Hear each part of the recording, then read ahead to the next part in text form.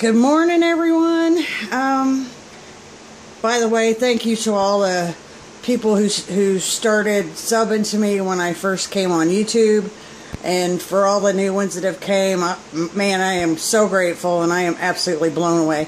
So thank you all very kindly.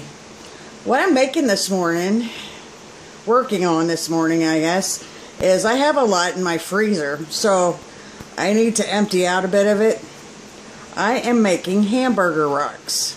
And I'm sure a lot of people have heard of these.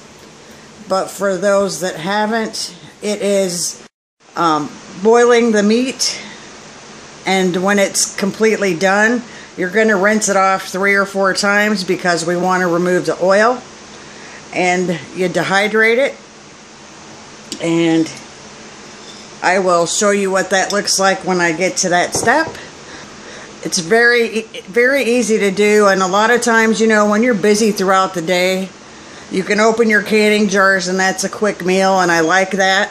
Um, but I also like having this in my dry storage because all you need to do to rehydrate this stuff is just add in some boiling water or beef bouillon is the best actually but you can get away with water if you use the um, you know, the beef bouillon powder.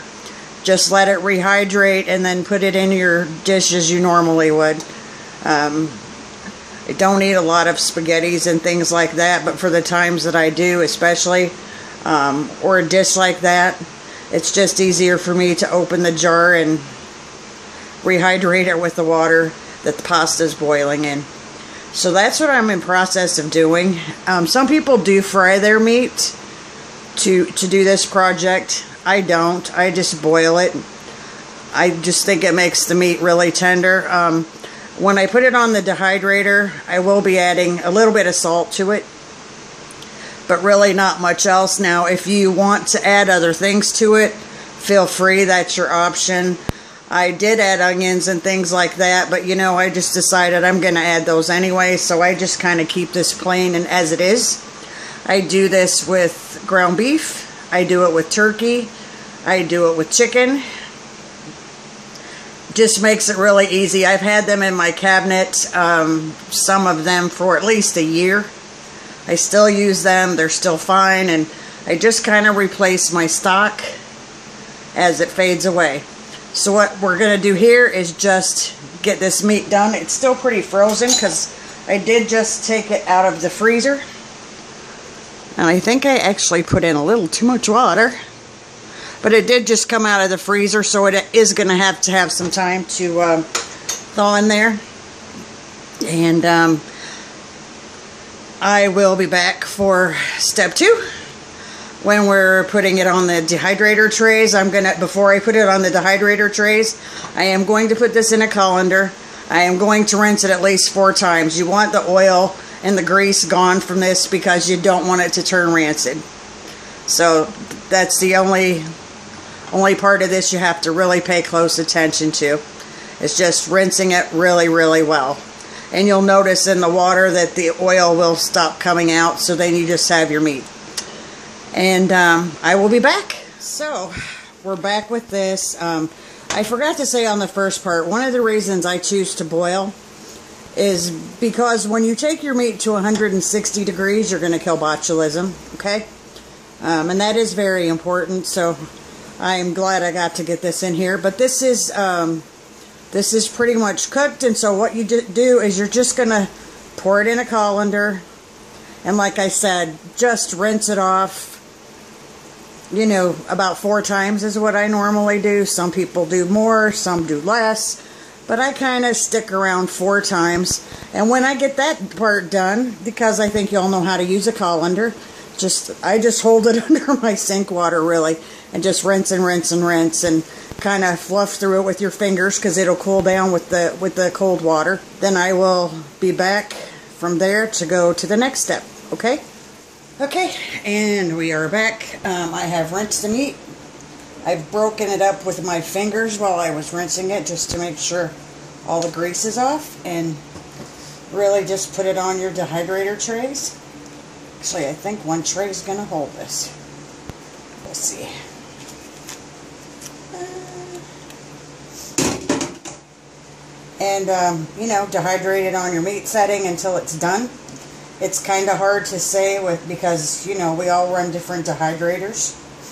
It will shrivel up a lot. But like I said, it's, it's pretty easy to rehydrate. I would just suggest doing it with, um, really with some stock or beef bouillon. Because you've kind of taken out a lot of the flavor when you've rinsed all the, the oil off, sadly. But yeah, you know. Okay. So that's it. If you want to add, um, actually before it's on here, if you want at this time, you can add salt, garlic, onion powder, whatever you want to. Just make sure it's nothing that has oil in it because we do not want this to turn rancid. I'll be back when it's done. Okay, and here we go. It's done.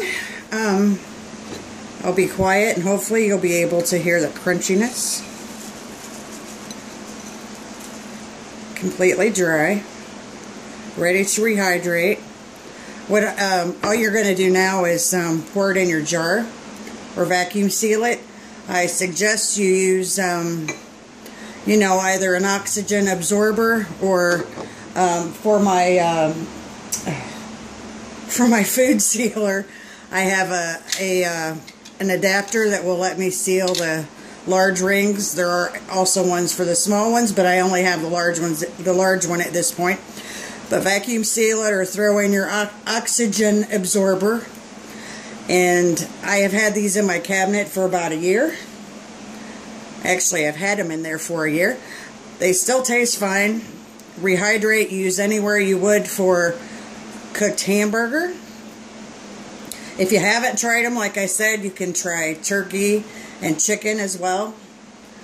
Just cook them up. Make sure you rinse them off. Getting the, the, the oil off is the big step here.